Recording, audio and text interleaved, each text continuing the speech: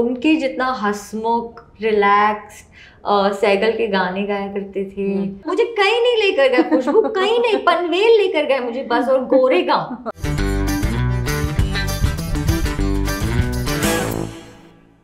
अमरीश पुरी को बहुत गुस्सेल दिखाया है सेट पर कैसे रहते थे इतने स्वीट हम्म।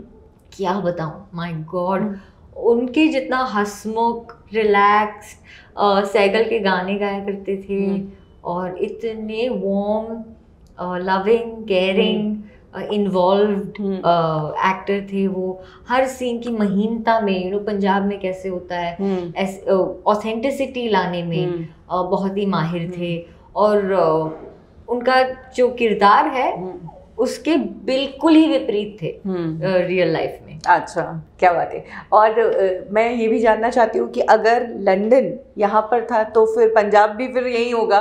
मुंबई में ही क्रिएट किया मैं बताऊँ पनवेल था पनवेल। अच्छा। पंजाब तो गए थे ये लोग लेकिन हाँ। जो फ़िल्म का क्लाइमैक्स है हाँ। वो पनवेल स्टेशन पर शूट किया था। अच्छा। नॉट इन लाइक सरसों के खेत.